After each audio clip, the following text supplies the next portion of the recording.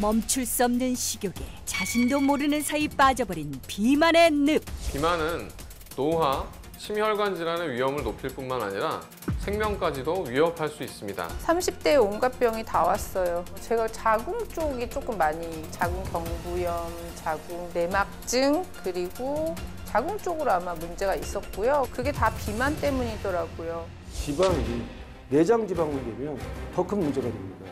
내장 지방은 단순한 지방 덩어리가 아니고요. 단일 건강 문제에서 가장 광범위하게 다양한 질병을 유방할 수 있는 것이 바로 내장 지방.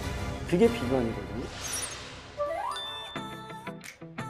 안녕하세요 여러분 반갑습니다 배우 서건순입니다 삼겹살 1인분하고요 고기를 4인분 시켰어요? 점심은 잘 먹어야 돼